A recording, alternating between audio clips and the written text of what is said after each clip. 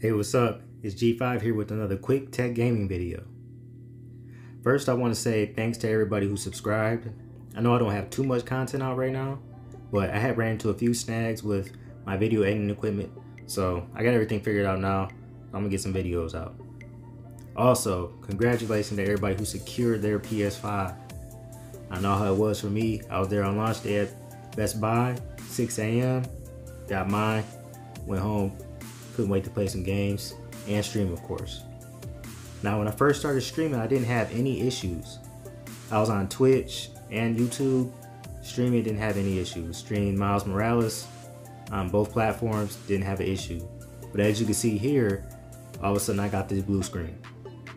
Now this is kind of an old problem, it goes back to PS4, but the quick and easy fix, you'll be streaming in no time. So let's go ahead and get to these steps. So go to settings, go to system. Then from system, you're gonna go to HDMI. And then here you're gonna go to enable HDCP and you're gonna go ahead and turn that off. Now, when you turn that off, you're gonna be able to stream on Twitch, YouTube, and all that. But this is the part that's a real inconvenience. Now, when you try to watch any videos or use any streaming apps, like Hulu or YouTube, you're not gonna be able to use it this is gonna pop up. Anytime you try to watch anything, this is always gonna come up. So all you need to do is just go back and do those steps again. It kind of tells you right there and turn it back on. But as soon as you turn this back on, you will not be able to stream without that blue screen popping up again. So what you got to do is just remember every time you stream that you had this off and then every time you're on or going to watch YouTube or Hulu, if you do forget to turn it back on, it's gonna pop up on the screen. But it's not gonna pop up when you're streaming.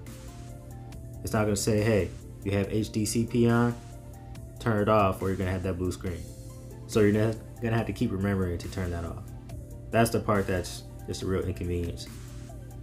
But that's the fix right there. It's quick and easy.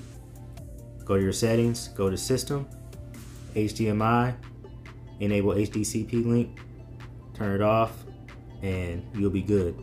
That's just the copyright protection.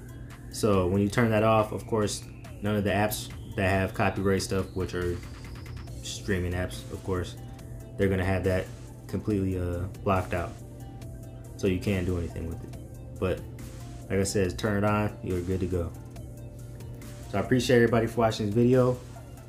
I appreciate if you would like it. And also, I would really like if you guys go check out my video. It's a drone video I have on my page, something I'm getting into and uh, I want to start putting more videos out.